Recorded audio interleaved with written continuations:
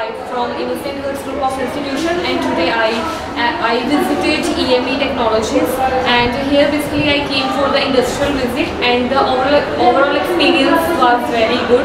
We attended the seminar given by Shiv sir and the key points of that seminar are like uh, SEO, SMM and website trafficking and the major uh, key points of this seminar was that they did all the things practically and we gained so many knowledge and valuable. The second session was conducted by Vaibhav sir and I think so it is very good initiative to boost up the confidence of the students and uh, to bring the students in uh, uh, at the DICE level. It is very good initiative and here the working environment was also cool and all other services are also provided by EME technologies like software development and UGC NET exams.